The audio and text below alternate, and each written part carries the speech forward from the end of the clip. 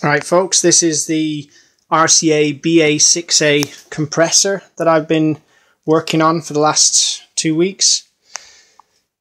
And it's actually now fully operational.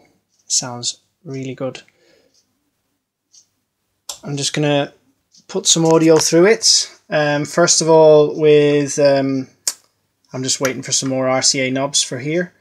Um, and um, but here it's on um, uh, there's no gain reduction and the meter that's uh, GR is just heating up now slowly. You should actually leave these things on for 30 minutes before you use them properly, apparently, so the manual says. And the off position is VU, so that's a little modification to the original design.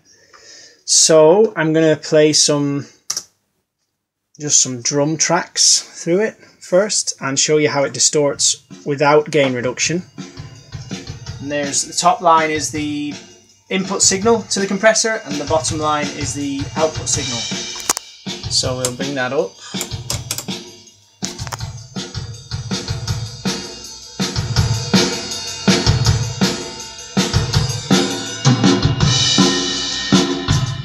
Starting to distort now.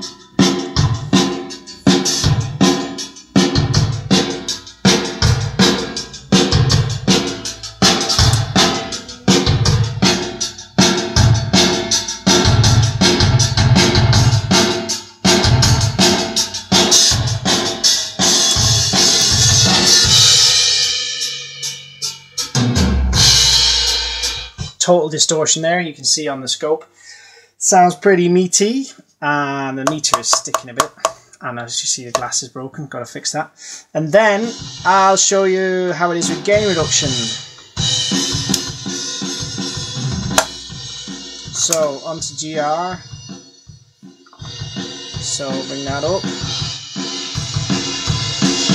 Just starting to hit the peaks now.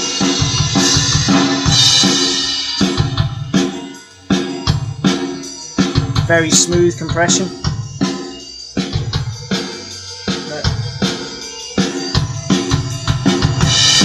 If I totally slam it,